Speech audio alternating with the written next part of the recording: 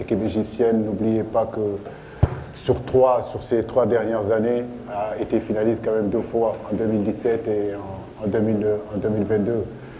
Favori, c'est un, un, mot qu'on utilise souvent pour nous coller ça, mais je crois qu'aujourd'hui en Afrique, on l'a dit, 5, 6, 7 équipes sont capables, aujourd'hui même dizaines d'équipes sont capables de gagner une, Coupe d'Afrique.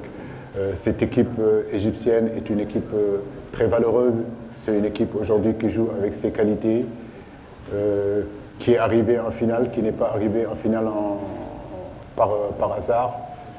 Cette double confrontation, je le dis, je le répète, sera vraiment très rude et très, très difficile, notamment le premier match qu'on aura joué euh, au Caire.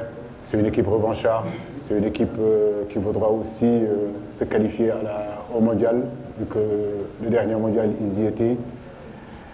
La Coupe du Monde est la compétition la plus, la plus grande, en réalité, la plus excitante, la plus extraordinaire en réalité en termes de, football. Aujourd'hui, tous les grands joueurs ont envie d'y aller.